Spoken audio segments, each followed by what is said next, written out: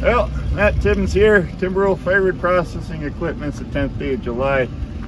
Hot as hell out here, but we got an MPXL integrated conveyor. And I thought before we ship this off to, he's going to Illinois, is that right? Yeah, before we ship to Illinois, do a walkthrough and uh, show you, you know, what to look for when you receive your machine and kind of like your daily maintenance parts on the uh, machine. So let's start with grease because grease is real important. That's what's on this stick here. So all these bearings, they got grease zerks on the underside. Grease zerks there, grease zerks there. So that's one, two, three, four, five bearings. And then you got two bearings up front here with grease zerks. You can stick the grease gun right through here and there's grease zerks there. Now those, they come grease from the factory. You don't want to put so much grease that they blow out. So we really only recommend you check that grease every about 40 hours and don't push too hard with your grease gun. You should not see grease coming out of them. If you push too hard, you're gonna blow those seals and they'll be eating grease all the time. So that's the first thing to look for. So you got your grease zerks on these bearings. Uh, next, grease, cylinder. This pin here, put grease in there. Again, we grease this, grease that at the factory. That doesn't need a lot of grease. It just helps down the road if you ever got to change your cylinder out, keeping that grease prevent that from rusting up. Most important grease zerks, they're on the push block. So good trick to do is you run your push block forward you can access the two through this hole here and then on the other side you can access the two from this hole here. And that puts grease on the slide of the beam. That's most the heaviest wear area. If you have the conveyor option it takes the same bearings as the live deck. There's six more. One two three double on the other side. Same thing goes there. You don't want to blow that seal and put grease on them. So keep an eye out for that all right, other grease points, top roll slide. You got two on each side to keep grease on that beam. And then same thing with these two bearings up here. You don't want to blow that seal up. Saw arbor arm, you've got a grease zerk right in there. That should be a daily grease as long as well as the push block slider there. So every eight hours, very important put grease in there.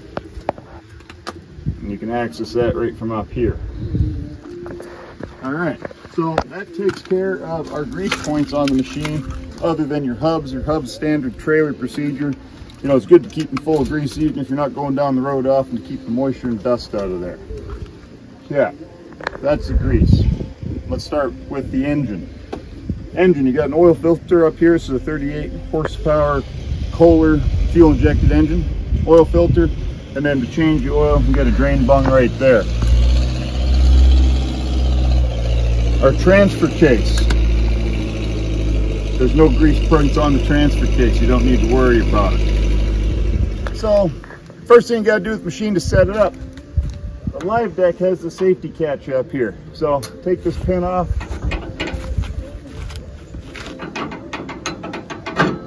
There it goes. And we'll fire up the machine. Really, there's no choke or anything. I still like to start about 20% throttle.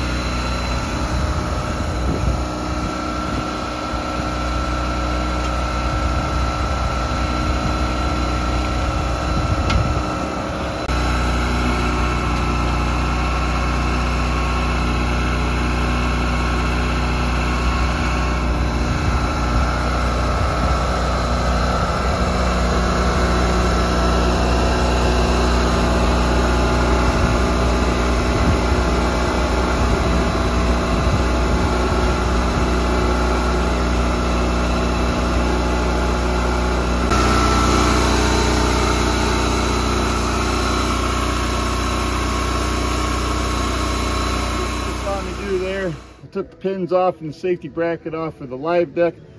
I lowered it down and I got the legs leveled up. I like to run it pretty perfectly level. Some guys like to run a little downhill, some guys a little uphill. Doesn't really make a difference up to you. I prefer perfectly level. So before we go up and running, you want to check this is your hydraulic tank. This is where it fills from. And you got your filler sight gauge right here. You want to make sure that that's full before you run so you don't cavitate your pump. Uh, those are your suction lines going there. Uh, the next thing we're going to do, before I fire it up, we're going to deploy the conveyor. So the conveyor is right here. It sits back on these guys here, so it rests there with gravity. Uh, there's no no safety chains or anything need to be uh, taken off to run it, so we're going to fire it up, and I'll show you how to set that down.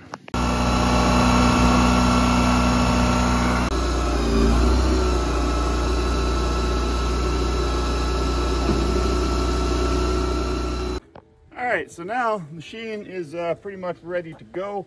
It's got stabilizer jacks on the four corners. You can set them up if you're gonna run all day, recommend it. Uh, but you don't have to, no requirement. You can see even with the conveyor deployed, it's still perfectly stable. Since we're only gonna run a few logs through here, we're not gonna worry about doing that. All right, so now, how do you run this thing? Really pretty straightforward. A couple of things pay attention to before I have the loud engine on, I'll go over these. This is your bar oil pump. This valve here controls the amount of bar oil that's going through. So when it's all the way up, there's no restriction. It's wide open. You're going to send a lot of bar oil onto that uh, saw. Here, it's all the way closed. Nothing comes through. It's really operator preference. You obviously don't want to starve bar oil, but you also don't want to waste bar oil. I find the colder it gets, the farther you got to open it up. Day like today, 90 odd degrees, probably have about 20% cracked right there. But again, I'm gonna judge that when I first start up. I can make sure I can see a little bit of bar oil coming out. On top here is the emergency stop, but this is for if something bad were to happen while you're operating, you blow a line, something goes bad, you whack that, engine dies. If you leave it whacked, you can't start the thing.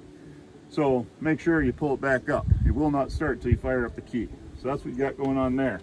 You got three gauges here. They're pressure gauges. The first gauge, it says saw. What's that do? It tells you the pressure of your saw motor. Maximum pressure should be 2,650 warm. So if it's a cold day, you might actually start off with a slightly higher bar pressure. Not to worry, as the fluid warms up, it'll go back to where it's supposed to be set. But if it's warm and you're seeing pressures above 2,650, you need to adjust that because that's not good for the pump. Every once in a while, these pressure leaks come out of adjustment. This is your bar. This dictates how hard that bar presses into the log. You want to see that between 150 and 200 psi. Again, that's kind of adjustable to your preference. The higher the pressure, the more you're going to have to float the bar valve in order to not stall out the saw.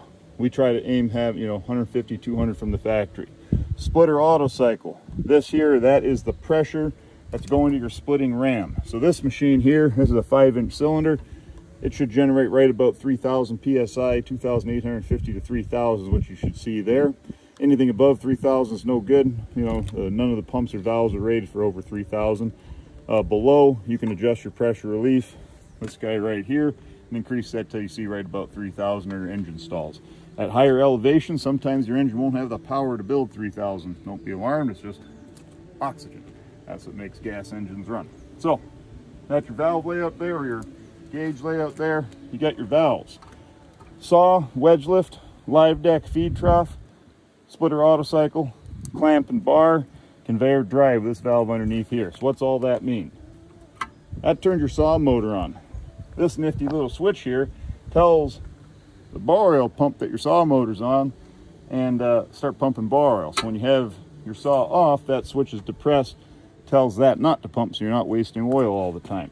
Wedge lift, lifts the wedge up and down six inches. Uh, you know, you can try to find this on your log or you can just leave it set, really up to you. Live deck, that's gonna bring your log into the trough. So you pull this down, log comes into the trough. You push it backwards, the log will back up a little bit. Feed trough, you pull it down, the feed trough chain is gonna activate pulling forward and your top roll drive is gonna activate working in conjunction to pull it forward. Push it away from you, everything's gonna go backwards splitter auto cycle. You can use this in two fashions. You can use it basically manual, like that. So this will let it go forward and split, and then that'll make it go backwards. Or you can just do it auto. pull both down. It'll stay in detent until it hits the end of stroke or about 1500 PSI, at which point it'll automatically pop up like that, sending the cylinder back, again, until it hits end of stroke or about 1500 PSI, and then it will stop by itself. What's that allow you to do? That allows you to cut, drop the log, hit this, while the splitter's doing its work, you work on the next valve, pull your log forward and cut it. Once you get good, like I am, you'll be able to time that block, drop it right in there without skipping a beat. Boom. Okay. Clamp, down, up, or I'm sorry, down, up, float. So most of the time you want to run it in float up here. So the weight of that whole contraption is going on the log and it's helping it feed it through. And that's about 200 pounds. So that's also enough weight to hold the log, acting as a log dog for saw. If you get a real gnarly piece that's getting hung up a little bit, doesn't happen often, but when it does, you press down and that'll put up to a thousand pounds of downforce, biting these teeth right in the log, sucking that log through. So most of the time, you want to run it in float. Bigger logs, at the last cut, what I like to do is I leave it in float. I bring it out until I have my desired length behind. Then I'm going to lock it down, put some down pressure on, make sure it's nice and snug. That also will pull a droop up, get a nice square cut, cut it, drop it, then put it in float, and then roll your feed trough forward. It's important to not uh, leave it locked with your feed trough rolling forward. What do I mean by locked? In the neutral position. So if you go down and apply pressure on it, and then you put in the neutral position, now there's no way for that cylinder to move up and down. So as you move that forward, if there's a knot and it tries to lift up, it puts an excessive amount of force on the whole system. So you can run it with down pressure and pulling it forward. And because that valve is open, it can only do system pressure, and that's fine, that's recommended. But as soon as you get to that next cut, put her back and float so you don't forget. And then finally, your bar. This is probably the valve you'll get most familiar with because this valve here, the harder you pull that down, the faster that bar comes through the log. And you're gonna see that, you know, the way this machine's set up, we don't have it set up going at one slow speed with that bar. It's set up to be variable. So if there's no logs there, you can slam on it, go really fast. If it's a small log, you can move down to the cut slow and then it's up to the operator with his skill to kind of feather it through that log so that you're not going to stall out your saw motor or break things. So sounds a little bit complicated, but you really, you know, you can look at your pressures, you know, at 2650, your bar is going to stall out or your uh, saw motor is going to stall out, or you can just do it by ear like I do now because I'm running these things for so damn long. But you'll get the hang of that. So that's your main valves down here, conveyor, forward, backwards detent.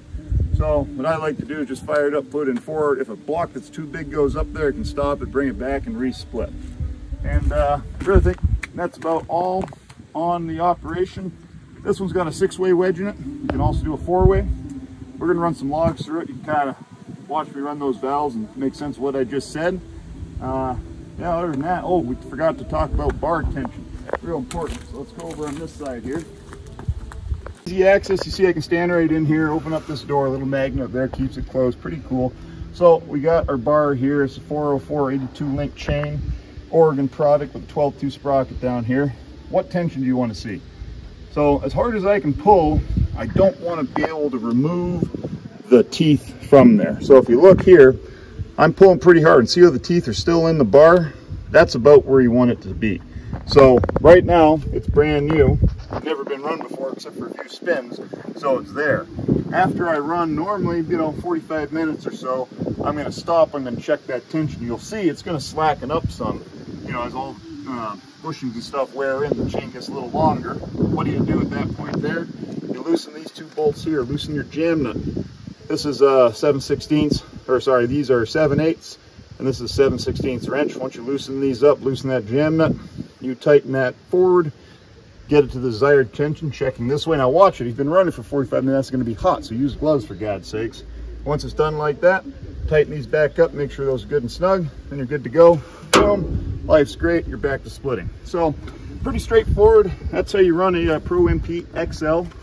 Uh, real simple machine, easy to work on. As I said before, in my opinion, best value in the industry. Uh, give us a call if you'd like to buy one or one of our dealers. And uh, other than that, let's split some goddamn wood.